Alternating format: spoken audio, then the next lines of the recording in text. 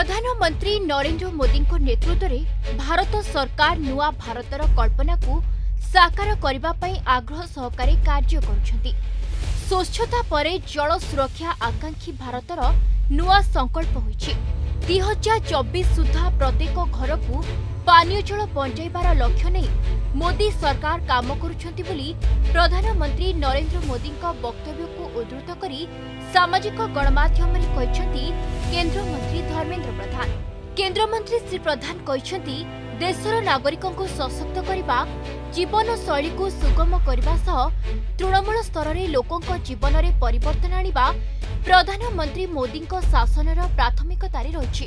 ପ୍ରଧାନମନ୍ତ୍ରୀ ମୋଦି ଲୋକଙ୍କ ଆକାଂକ୍ଷାକୁ ପୂରଣ କରିବା ପାଇଁ ନିରନ୍ତର କଟିବଦ୍ଧ ଥିବା କଥା ଐତିହାସିକ ଲାଲକିଲ୍ଲାରୁ କହିଛନ୍ତି କେନ୍ଦ୍ରମନ୍ତ୍ରୀ ଧର୍ମେନ୍ଦ୍ର ପ୍ରଧାନ ଉଲ୍ଲେଖ କରିଛନ୍ତି ଯେ ଆଜି ବିଶୁଦ୍ଧ ପାନୀୟ ଜଳ ଲୋକଙ୍କ ଦୈନନ୍ଦିନ ଜୀବନର ଆଧାର ହୋଇଛି ପାନୀୟ ଜଳ ଭଳି ଗୁରୁତ୍ୱପୂର୍ଣ୍ଣ ପ୍ରସଙ୍ଗକୁ ସମାଧାନ କରିବା ପାଇଁ ପ୍ରଧାନମନ୍ତ୍ରୀ ନରେନ୍ଦ୍ର ମୋଦି ଦୃଢ଼ ଇଚ୍ଛାଶକ୍ତି ଦ୍ୱାରା ଆରମ୍ଭ ହୋଇଥିବା ଜଳ ଜୀବନ ମିଶନ ଏକ ଜନ ଆନ୍ଦୋଳନରେ ପରିଣତ ହୋଇଛି ଆମେ ଦୈନିକ ଏକ ଲକ୍ଷରୁ ଉର୍ଦ୍ଧ୍ୱ ପରିବାରକୁ ପାଇପ୍ ଯୋଗେ ପାନୀୟ ଜଳ ପହଞ୍ଚାଇବାରେ ସଫଳ ହୋଇଛୁ।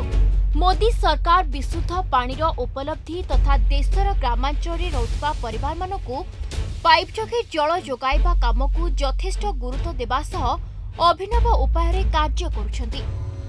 ବର୍ଷ ବର୍ଷ ଧରି ଜଳର ଅଭାବ ଏବଂ ପିଇବା ବିଶୁଦ୍ଧ ପାଣି ଓ ଜଳସେଚନ ଓଡ଼ିଶା ପାଇଁ ବଡ଼ ଆହ୍ୱାନ ସଦୃଶ ହୋଇଛି।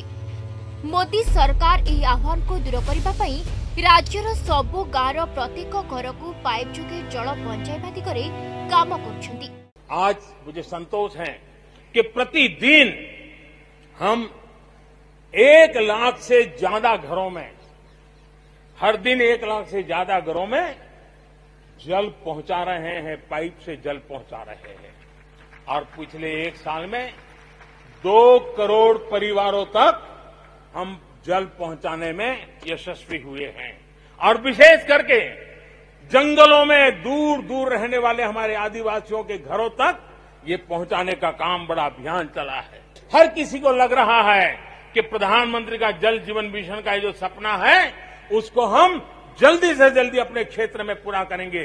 कोऑपरेटिव कॉम्पिटेटिव फेडरलिज्म को एक नई ताकत इस जल जीवन मिशन के साथ जुड़ गई है। और उसके साथ भी हम आगे बढ़ रहे हैं। ସେହିଭଳି ଓଡ଼ିଶାର ଆବଶ୍ୟକତାକୁ ଦୃଷ୍ଟିରେ ରଖି ପ୍ରଧାନମନ୍ତ୍ରୀ ନରେନ୍ଦ୍ର ମୋଦି ରାଜ୍ୟରେ ଜଳ ସୁରକ୍ଷାକୁ ସୁଦୃଢ଼ କରିବା ଦିଗରେ ପ୍ରୋତ୍ସାହନ ଯୋଗାଉଛନ୍ତି। ଦୁଇ ହଜାର କୋଡ଼ିଏ ଏକୋଇଶ ଆର୍ଥିକ ବର୍ଷ ଜଳଜୀବନ ମିଶନ ଅଧୀନରେ ଓଡ଼ିଶାକୁ ଆଠଶହ ବାର କୋଟି ଅନୁଦାନ ମିଳିଥିଲା। ପୂର୍ବ ବର୍ଷ ଏହି ଯୋଜନାରେ ରାଜ୍ୟକୁ ଦୁଇଶହ ସତାନବେ କୋଟି ଟଙ୍କା ମିଳିଥିଲା।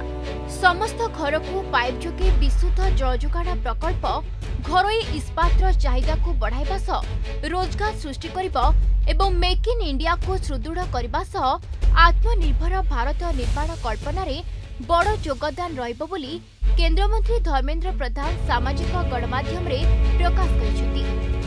Bureau report Argus news.